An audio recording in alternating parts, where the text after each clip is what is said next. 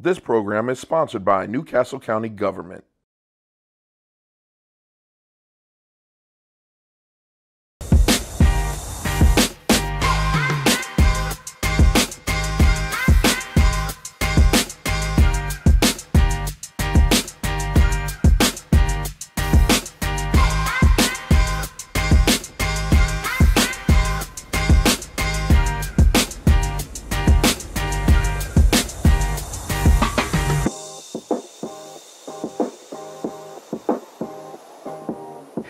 Everybody, welcome to the Chef Dana Show. Today I have something deliciously down home for you guys. We are doing a Cajun butter cod, we're doing a barbecue collard greens, and we're doing a sweet potato mash. This is going to be amazing. So first thing we're gonna jump right into is let's get these sweet potatoes going. You're just gonna need to peel them and cut up some of the pieces here so that they cook a little faster in our water, right? Just rough chop them because we're going to end up mashing them anyway, right? But we don't want the pieces to be so big that takes forever to cook. Okay? We're going to add a little pinch of salt to the water, just like this. And then we're going to put in our sweet potato pieces. Now it's funny, when I was growing up, I did not like sweet potatoes, but now I love them. It's funny how your taste buds change. So we're going to get our sweet potatoes in the water. Get them going. Okay? Next thing that we're going to get going is we're going to get going on the greens, right? So for the greens, right over here, I've got a few ingredients. I got a little piece of ham hock there. You could always use uh, uh, smoked turkey if you don't want the pork. We have a little bit of pinch of vinegar, a little bit of cumin, garlic, the onions, the salt, a little bit of stock. So the first thing that we have to get going is we gotta put a little oil in the pan, right? And we gotta get our onions cooking. Let's get those onions going. Develop a little flavor. So in they'll go. We hear that beautiful sizzle. Break up them pieces in there. So everybody's getting a nice amount of uh, surface area, a little heat going. Okay? I'm gonna season my onions with a little bit of salt and pepper.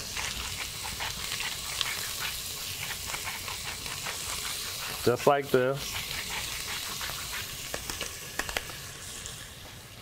All right, a little pepper, gotta have the pepper. As my wife would say, gotta have the pepper. Give them a little stir. We just wanna basically get them cooked, get them translucent so they release some of their flavor in these oils and everything. To this, we're gonna add a little bit of garlic, right? A little bit of garlic a couple cloves in there. Get that going. Okay.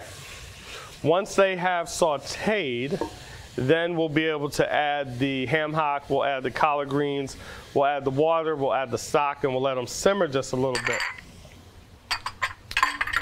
While that's cooking, let's look at the butter sauce for the cod, right? And this cod is a pretty simple dish. But I'm gonna throw my butter in the pan, let that start melting. Add a little bit of oil, right? The oil actually helps the butter uh, not burn when it goes to high temperature. So we just got a little butter and oil blend, okay?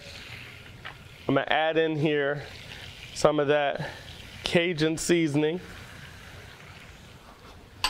I don't know if you remember, but last season my friend Tiffany was on here and her Cajun seasoning is the bomb.com. So we're to use a little bit of that today. Okay, and we're just to melt our butter. I'm to take a lemon, cut that in half, give that a little squeeze. You my main squeeze. Okay, we're to put that right in there. So we're really just making a nice Cajun butter sauce to go on top of our cod. I'm just stirring that up so that the butter melts.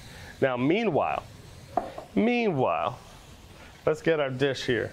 We're gonna put some cod right in here. We'll put some cod right in here. Okay?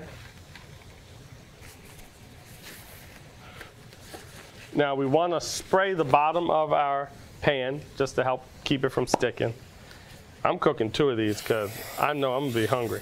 I don't know about you guys, but I'm going to be hungry. We're going to uh, bake this at about 425. Okay? We got our fish. We got our dishes oiled, right? But we need to cut some lemon slices. Let's cut some lemon slices to put in the bottom of our dish. Okay? Just nice and thin on the lemon slices. And they're just gonna go right in the bottom of the dish. Now that pan coating is gonna basically keep these lemons from burning up because we're gonna set the cod right on top. All right? I'll put that right in the bottom. Cut up another lemon for the other one. So not too thick, because we want to basically be able to take one of the lemons, go all the way across, or cover the bottom for the most part. Okay, so there's the second one.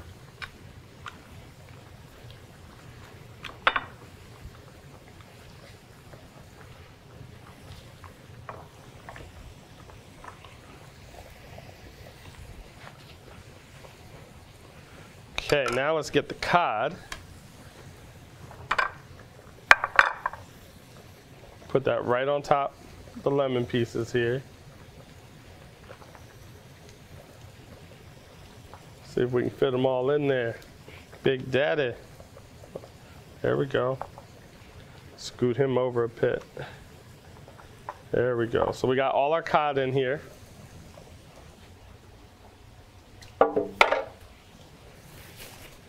Next step, once we've got this in here, we've got our Cajun butter sauce rocking and rolling. Oh yeah. Onions are cooking beautifully with the garlic. Let's get some of our sauce on here.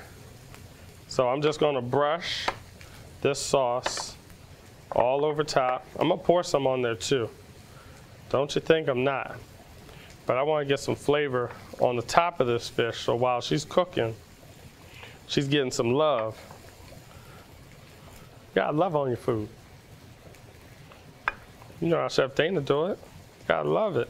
Put that love in the pan. Okay. I'm just gonna brush it nice, healthy amount right on top. And you can always take the sauce when you're done, you know what's in the bottom of the dish, pour it on the fish later. I wanna make sure it's coated real nice. And I'm just gonna pour some across, pour some across, and then we're gonna go right to the oven after I add a pinch of salt and pepper. There's a little bit of salt for each one.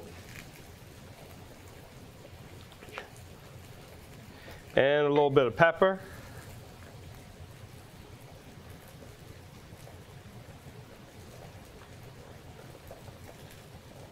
Okay.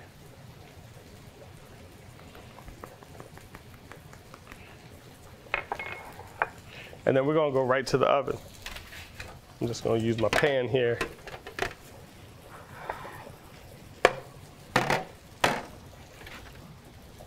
So we're gonna go right to the oven, 425 degrees, okay? So it'll probably take a good 15 minutes or so. Now I'm checking on my onions and my garlic. Onions and garlic are looking great. Okay? They're getting translucent. To this, it's time to add that ham hock. Put that ham hock in there. All right? Then it's time to add uh, the liquid, which we have the pork stock. We got the water. All right, we're gonna add the cumin. A little touch of cumin to the greens. In Spanish cooking, when they say you wanna put your foot in there, that's that cumin. That's that cumin, nothing like it. All right, so we got that in there. Next thing, we're gonna add a little bit of salt.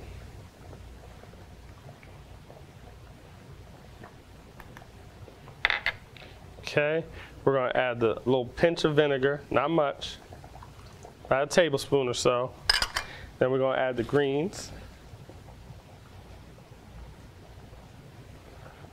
We're gonna throw a lid on there.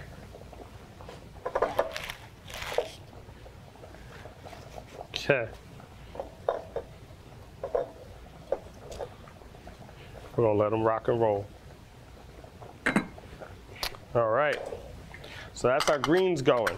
You see I haven't added the barbecue sauce yet. I'm gonna wait just a little bit on the barbecue sauce, all right? And we'll put the barbecue sauce in closer to the end.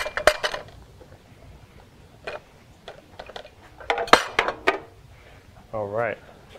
So we're looking good. We got the greens with the lid on it. We started off the uh, sweet potatoes. Uh, we got our Cajun butter, garlic, uh, cod in the oven. That's going to take about 15 minutes. Okay.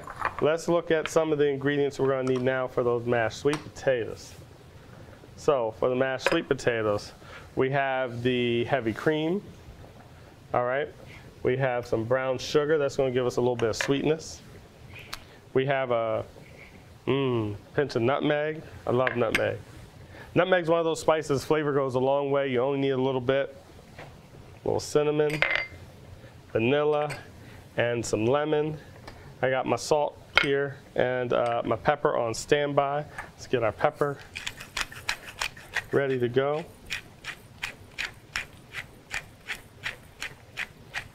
Okay, you are going to need your colander.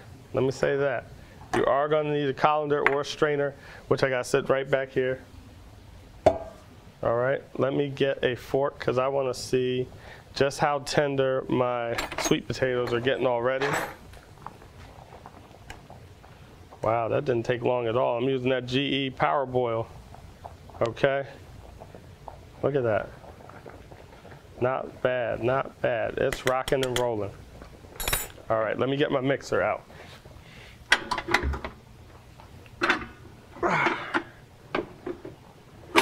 Okay.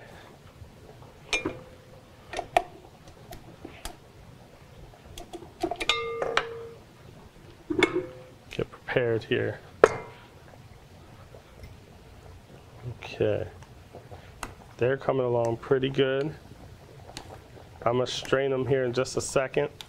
I'm actually gonna switch burners because I know my middle one is my strongest one. Cool thing about these uh, flat tops here, I don't know if you guys have them at home, but on uh, these GE flat tops, the center burner is your power boil. So if you really want something to boil out of control, and let me not say out of control, but boil aggressively, we use the middle one. That's your power boil station. Yep, my potatoes are looking, that's crazy about 10 minutes and they're already tender. I'm just double checking them, making sure the big pieces in here are good to go and my fork's sliding right through there. I'm, I'm, I'm amazed right now, I'm not gonna lie. Look at that, 10 minutes. Okay, I'm gonna get ready to strain my sweet potatoes here and we're gonna do that sweet potato mash. All right, here we go. I'm gonna just strain this real quick.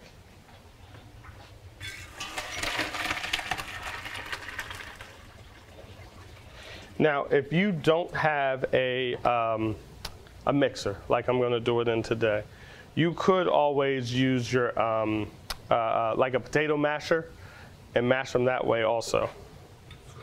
And just do it by hand. Okay. All right, here we go. So here's my sweet potatoes in the, in the bowl.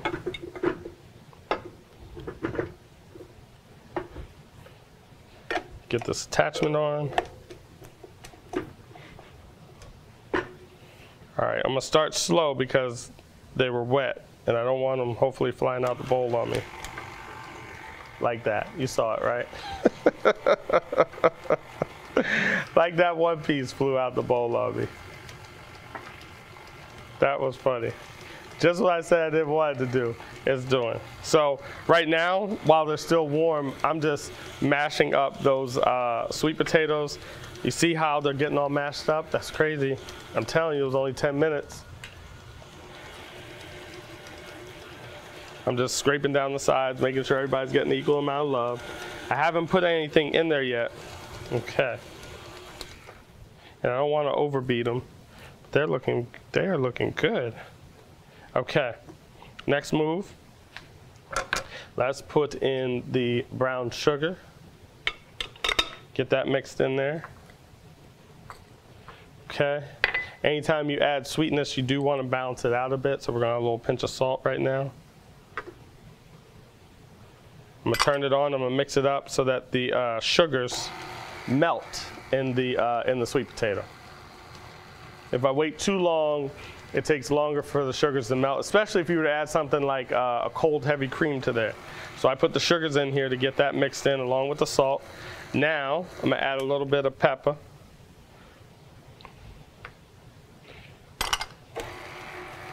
And then I'm gonna add in my vanilla, my vanilla. I'm gonna add in the cinnamon. These are like my favorite spices in baking. Cinnamon and nutmeg, they go a long way. And I got love for all the other stuff like ginger and cardamom and so forth, but something about cinnamon and nutmeg, they make me all warm and fuzzy. Okay.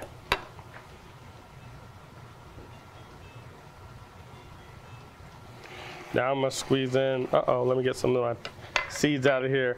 One thing when you squeeze the lemon juice in here, make sure you take the seeds out. Nobody wants to find the magical seed in their sweet potato mash, all right? So I'm just checking my lemons. Pop those seeds out when you see them. Normally you'd say oh, when you're doing other citrus fruits, say like the lime, its cousin, you don't have to deal with quite as many seeds. But the lemon, is very seedy. So I'm just double checking here. If you want to, you can even say use your dish that you use for one of your spices and squeeze your juice in there because sometimes you'll even get a surprise. And I don't know if you can see that, but if you see in my dish right there, you'll see that there's still a number of seeds going on. Even after you saw me pluck them out, you still end up with some more seeds in there. So I'm just gonna grab a spoon, pull those couple out.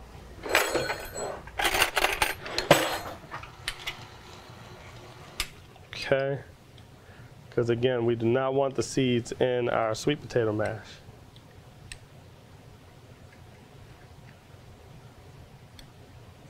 All right. Now the lemon juice in here, it actually um, keeps you from using uh, so much salt so I'm gonna pour about half the juice in there and then I'll taste it. And I'll determine if I needed the other half. Okay, lemon juice is in. Let's add the heavy cream. This is gonna make them smooth. Nice and creamy. Nice and creamy, baby. And as with any time, whenever we're using the mixer, we're gonna stop it, scrape down the sides, turn it back on. We wanna make sure we're getting everything off the sides here. I'm lucky because my scraper has a pretty good little rubber piece on there, or the paddle, should I say, of my mixer has a, this little rubber piece on there, so it actually comes around and gets the sides pretty good. But we still wanna make sure everybody's at the party. All the spices, all the goodies and so forth. Okay. Let's give it a quick mix. And now I'm gonna taste it. Never trust a chef that doesn't taste his own goodies.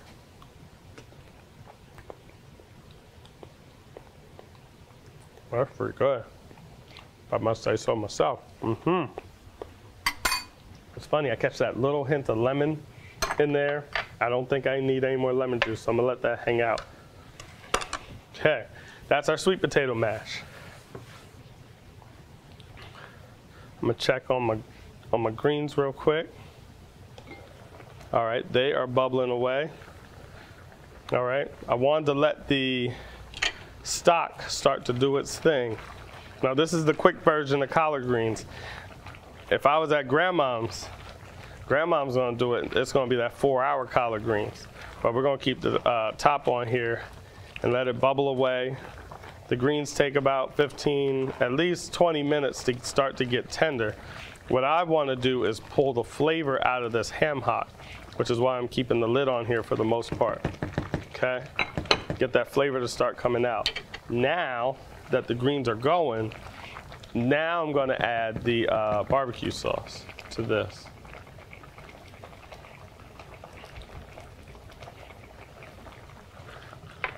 Okay, we're gonna stir that in there with that barbecue sauce, right? And it's just gonna give it a little bit of extra sweetness, a little bit of a smoky flavor and so forth.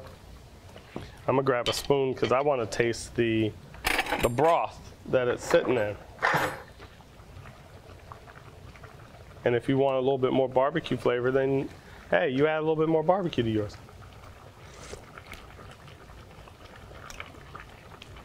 That's pretty good.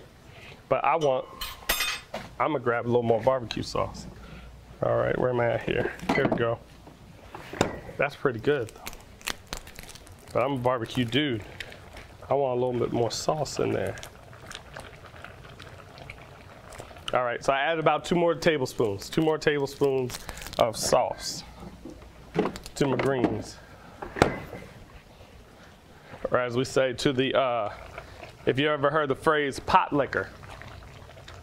I remember I was cooking at a demo in North Carolina, and I'll never forget this. My, my, my grandmother, she's from Maryland, and this little old woman came up, and she's like, how's that pot liquor? I was like, I, I, I, didn't have a drink today. I don't know what you're talking about. and she's like, the pot liquor. And I'm like, pot liquor. And she's like, the pot liquor, the, the, the broth from the greens. I said, oh. I had to call my grandmother, true story, right after the uh, session. Grandma, you never told me about pot liquor. She said, oh, that's, that, that's the water from the greens, baby. That's the water from the greens. All right, I'm gonna peek at my cod here. My cod's coming along well. I'm gonna give it another five minutes or so, but I can see the juices in there. The fish is starting to turn opaque, which is what we want. Let me get my sweet potato mash out of here. Let's get that to the bowl so we can get ready to eat. We're gonna get a bowl for some of our greens. And we're gonna need something for that cod. Let me get out a hot plate or a hot thingy real quick. There we go. Put that on when it comes out the oven. All right, so let's get our mash out. Scrape your, scrape your paddle. If you have a glass bowl like me, do not hit your paddle on the sides of the bowl I know for all those mixer users out there, that's our normal move, right? We come in there and we tap, tap, tap, but not if you're using the glass bowl, all right? Don't do it. Okay, we're gonna get that to the bowl.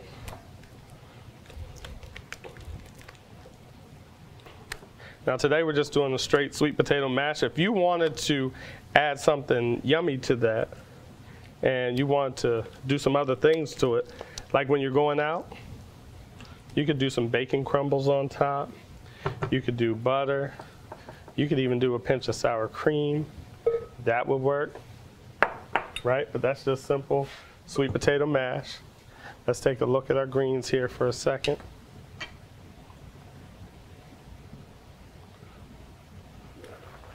Man, that's smelling good. Told you 30 minutes or less. Look at these greens. Hold on, where's my spoon? I'm gonna show you. I'm gonna show you, baby. Look at how the greens are already breaking down. See that? How they get nice and limp. Nice and limp.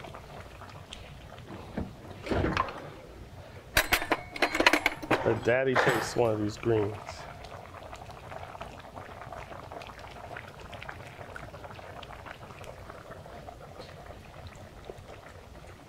Mm-hmm. That is good. That is good. Okay. Let me get these barbecue greens up in this bowl.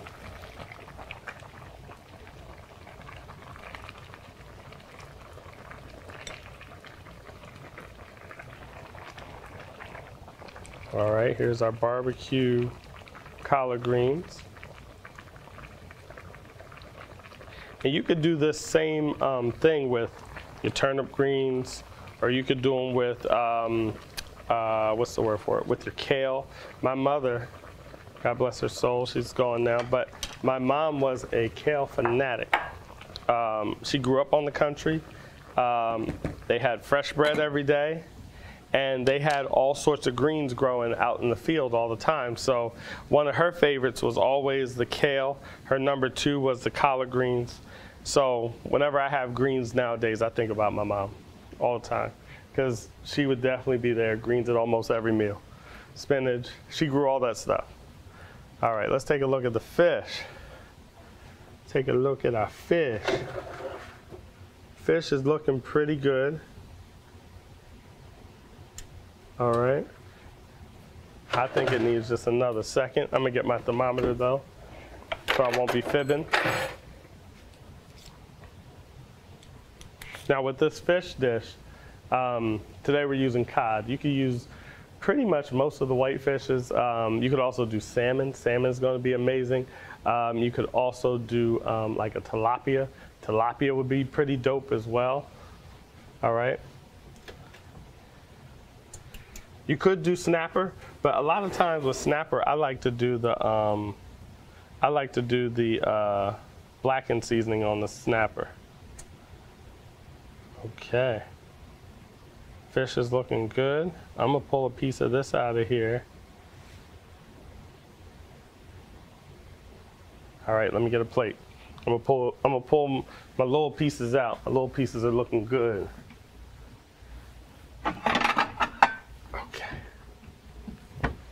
I give you guys a peek. This right here.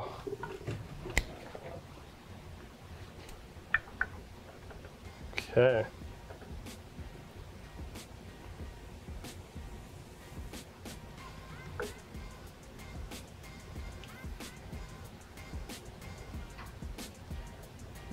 Uh-oh. Daddy's breaking them. Wait a minute. Okay. Here's another one. There we go. So here is our Cajun buttered cod. I'm gonna let my other big ones rock and roll a little bit longer. So we got our sweet potato mash right here. We got our barbecue collard greens and we have our Cajun buttered cod. Simple, quick, easy. Amazingly, it's a 30 minute meal if you have everything prepped and all together. Um, and you can throw it together, something down home, something delicious. Thank you guys for hanging out with me today. It's been a pleasure. Tune in next time to the Chef Dana Show right here on DETV. Thanks a lot, guys.